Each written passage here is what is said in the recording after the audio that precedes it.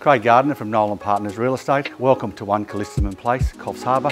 This stunning home is designed for effortless family living, incorporating contemporary styling cues, functionality and privacy. Let's have a look.